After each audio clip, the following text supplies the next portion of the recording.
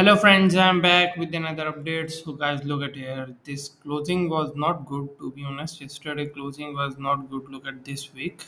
But if we stay, if we, if I see a four-hour candle closes above this resistance area, then I will be more likely take trade on this coin, and my profit taking area would be same as previous.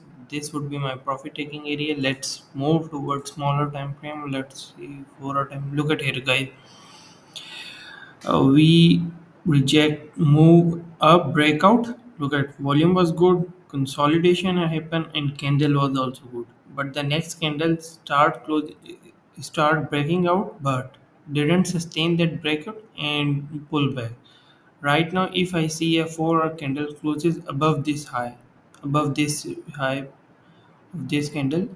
And then i will be taking trade and stop loss would be under this level and profit taking area would be here. That's it guys. That's the simple plan for for myself. So if anybody wants to follow me then you can it's up to you. And risk to reward you have to first define how much would risk would you would be like to take in this trade. Let's suppose if four candle closes almost here and this would be my risk and this would be my reward.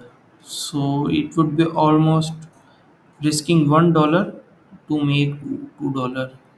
So look at here. So i would be happy to take risk on this trade to make two dollar.